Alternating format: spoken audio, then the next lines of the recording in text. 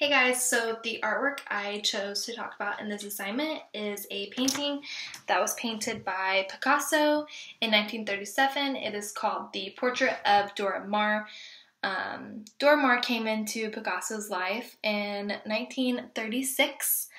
She was a professional photographer, which makes me wonder if um, she ev- ever took any photos of Picasso since he did take the time to paint this portrait of her. This is an oil painting. It is roughly four by three. Um, the painting is shown in a combined frontal and profile view, which is what I noticed initially and is what drew me to the photo because it kind of just made me stop and stare at the portrait before I went and did some further research about it. So I was trying to figure out um, what she looked like and what the focal point of her face was supposed to be. So I found it very interesting, and once I found that he did that on purpose, it was more interesting to me, which is why I chose it for this assignment. Um, it's obviously very colorful. You do notice the different details, such as her hat, her long nails, her outfit, um, and things like that. There are um, there is some dimension. You can tell she's sitting closer up in a room with the wall further behind her. You can see some dimension in the ceiling.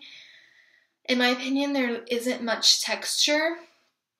Um, so it just seems like just a bunch of lines and very straight and strict and, you know, precise and to the point. so um, she is sitting in a chair. She looks to be somewhat comfortable. It makes me wonder how close her and Picasso were.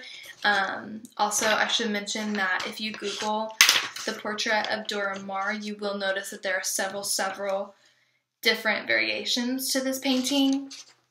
I read an article somewhere that said that he created this painting over several dif- over several different occasions, and they are all somewhat different. Some of them, a lot of them, have her hand propped against her face, and this one it doesn't.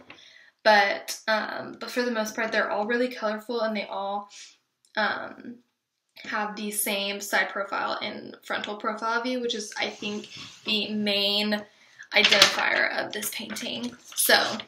Um, yeah, it makes me wonder how close her and Picasso were, and it makes me want to go do some further research about that because he created this several different times. So um, I'm sure there's some research about that, and I just need to go dive a little deeper. So, um, yeah, I hope you guys enjoyed this video.